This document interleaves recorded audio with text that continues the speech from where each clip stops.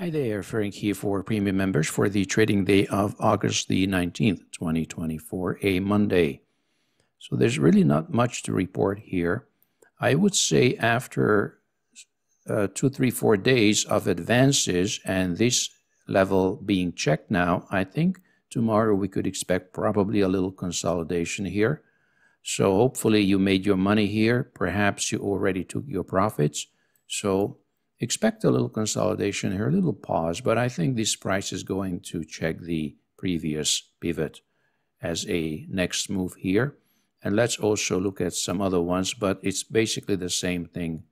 Now, if it keeps going and breaks out, especially, let me show it to you the, the RTY, which is perhaps the visually most appealing here, just a breakout trade, horizontal consolidation. I know we're at the midline, but if it keeps going and if it triggers, I would be ready to go along here. And let's also look at currencies on which also not much new to say other than we're continuing the events here, monitoring the events from last week. Look at this, 6E in progress. The structure is intact on the daily.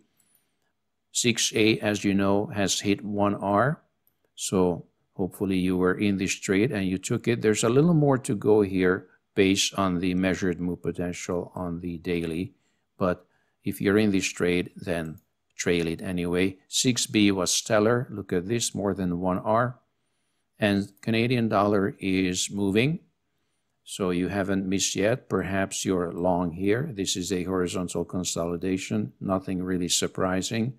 And the 6N was another one that we were looking at. This is a little strange structure, but remember what we said about using tight stops in certain situations. This was one of them, and it is working. Let's also look at GC, on which we hit a 1R. Look at this. So SI is moving as expected. The bear flag is failing on the daily chart we are about maybe 0.9 out of this bull flag here and the weekly is firmly in charge for now. So nothing really new. And the wheat, which we put back on the list, remember, on Friday, is seems to be triggering. But having said that, if you're busy elsewhere, I think those should be your first choices.